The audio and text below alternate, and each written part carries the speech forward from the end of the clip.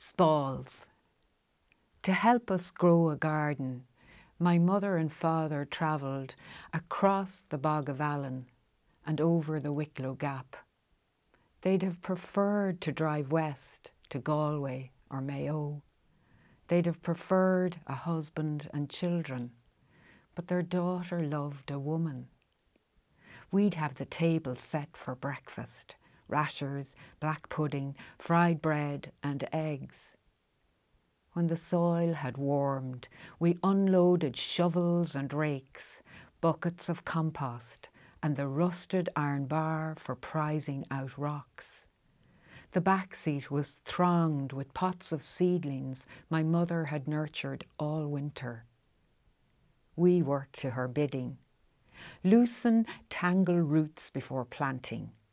Sow marigolds next to beans. Sprinkle Epsom salts around roses.